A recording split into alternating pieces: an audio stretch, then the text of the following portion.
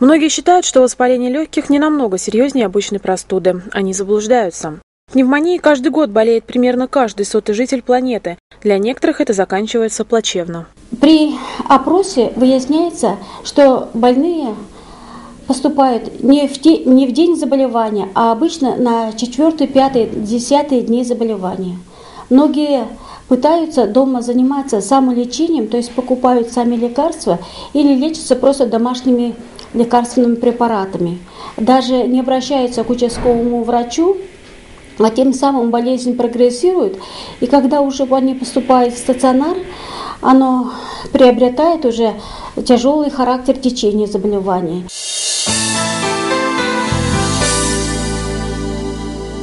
Как известно, вот это воспаление легких – это инфекционные заболевания, то есть микробные. Разные микробы вызывают воспалительные заболевания в бронхах, в альвеолах и в самой интерстиции, то есть в легочной ткани. Чтобы быстро вылечиться, нужно антибактериальную терапию назначить в первые дни заболевания. То есть было бы еще лучше в день обращения сразу, в период появления первых симптомов.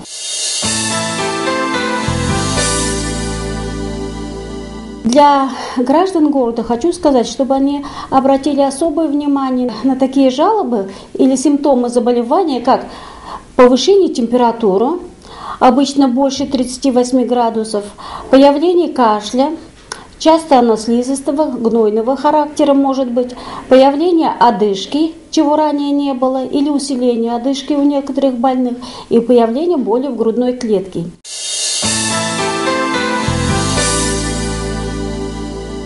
Своевременное начатое лечение позволит больному избежать появления осложнений, таких как плеврит, дыхательная недостаточность, сердечная недостаточность, сепсис, обострение или появление заболеваний почек, сердца и других органов.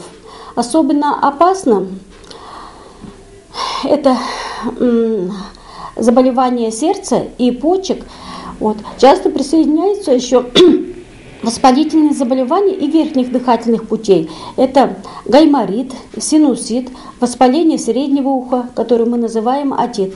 Поэтому все эти заболевания требуют своевременного начатого лечения.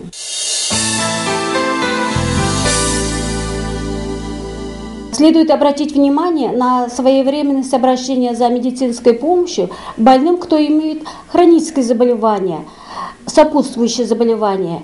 Это сахарный диабет, это хронический обструктивный бронхит, заболевание сердечно-сосудистой системы, заболевание нервной системы после инсультов и заболевания почек.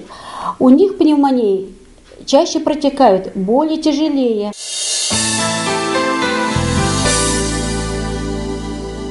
Последние годы вирусные инфекции тоже проходят более в тяжелой форме.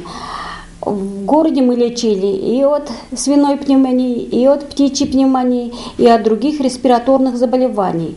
Одним из грозных осложнений тоже является этих вирусных инфекций гриппа, тоже пневмонии. Эти пневмонии, они могут быть и с самого начала заболевания у ослабленных больных, и Появиться они через неделю и через две недели.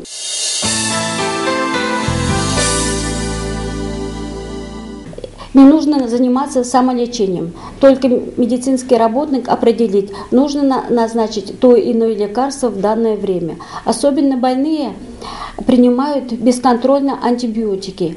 Бесконтрольный прием антибиотиков приводит в дальнейшем к снижению чувствительности а, антибиотиков к данным микроорганизмам. То есть возникает резистентность э, к антибиотикам. Чтобы такого не было, лучше э, значит, принимать обильное питье, поливитамины, противовирусные препараты, соблюдать постельный режим, почаще проветривать помещение, э, соблюдать правила личной гигиены. Вот. Но если температура держится в течение 3-4 дней и состояние ухудшается, нужно срочно обратиться к врачу или пойти в поликлинику, или вызвать врача на дом.